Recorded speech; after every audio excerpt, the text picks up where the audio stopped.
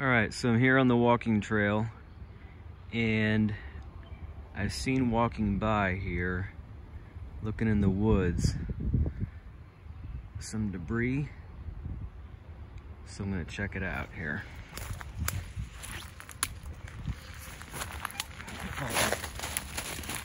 Oh, in my butt.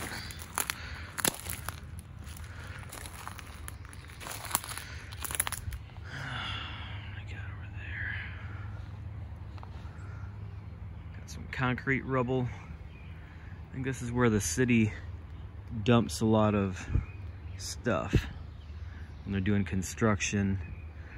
Broke up concrete. I'm looking for anything that might be from the 1920s and earlier. We got a bottle bottle here. Huh.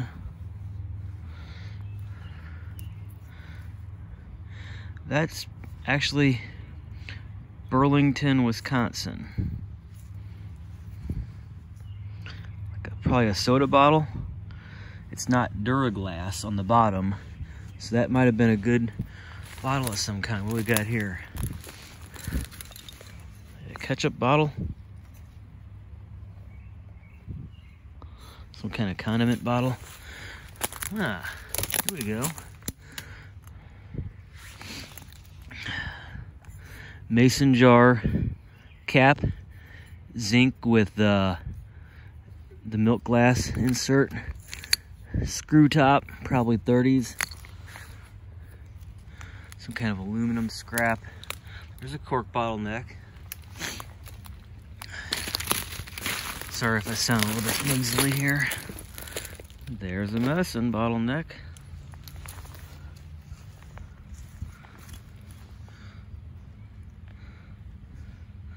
Soda bottle or beer bottle. Knock it over so nobody, animal steps on it. Looks like some kind of critter's been digging in there.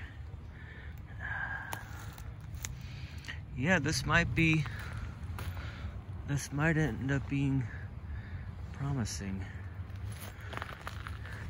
areas like this, you don't really want to dig in like a, you don't really want like, oh, a Coke bottle you don't really want like a, uh, sorry I'm rambling, like a 1950s or 40s type of dump. You want like 20s or earlier.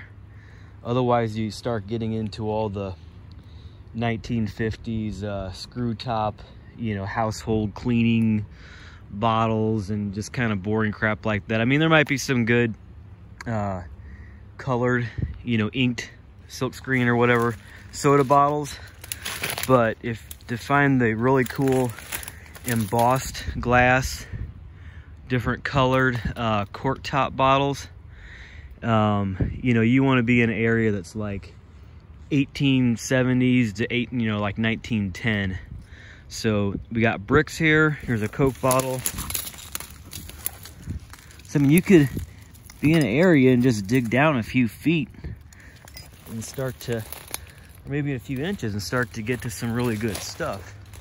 You just kind of kind of probe around with an old squirt gun.